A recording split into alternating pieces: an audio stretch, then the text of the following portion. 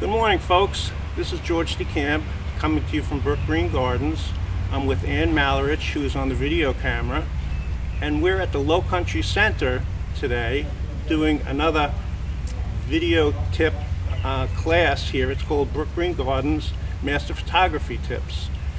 And we're going to be doing a series of these uh, from time to time, and hopefully you'll enjoy them and it'll uh, improve your photography.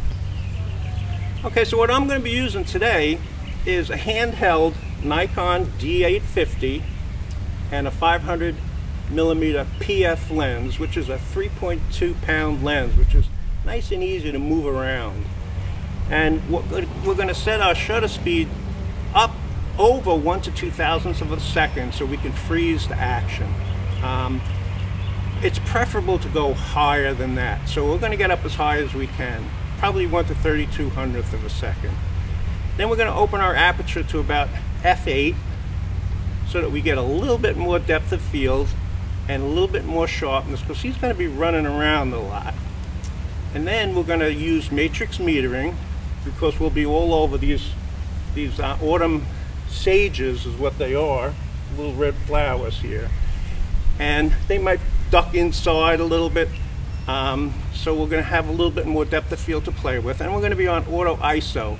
So just in case it gets in a darker spot, the ISO will bump up a little bit to give us a little bit more light. Find here is going to be a ruby throat hummingbird. Now these little buggers wings move at 70 beats per second. So if you want to freeze the action, you have to kick that shutter speed up, like I mentioned earlier. So we're going to be up around, like I said, around 1 to 3200. Um, their, wing, their wings, like I said, they're, they're 70 beats per second. They, they fly at about 35 miles an hour. So they're quick little things. And they feed every like 15 to 20 minutes. So if we don't get a shot right away when they land, they'll be back in 15 to 20 minutes. Just give them a little time. The one thing that you're going to hear maybe is um, the, the way they got their name is their wings flap so fast it creates a hum.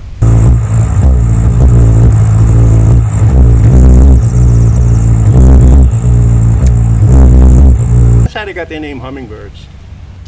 So like I said, I'm using a D850 here today, but I also have with me a crop sensor camera which reduces the size of the frame to about half of what this is so you can get a closer perspective of the bird. Even it makes it look like you're closer. You're actually not. You could crop this, but you can use this camera and it'll automatically have that crop in there for you. And this is a D500 by the way, a Nikon D500. It's 10 frames per second, so it really helps. And you and you need you need the fast uh, frame rate to get these things uh, in sharpen and focus and, and wait because they move so quickly. You want to take as many shots as you can, and then you pick the best one.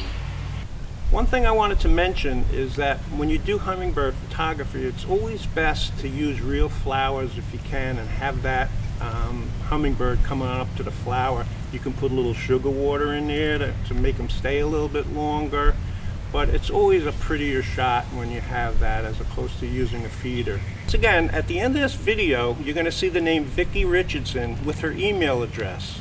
Vicki is the coordinator of the outreach program here at Brookgreen Gardens.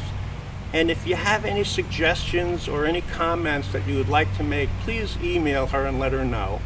If you have any ideas for any future episodes, please let her know that also. Well, thank you for watching today, and I hope you enjoyed it.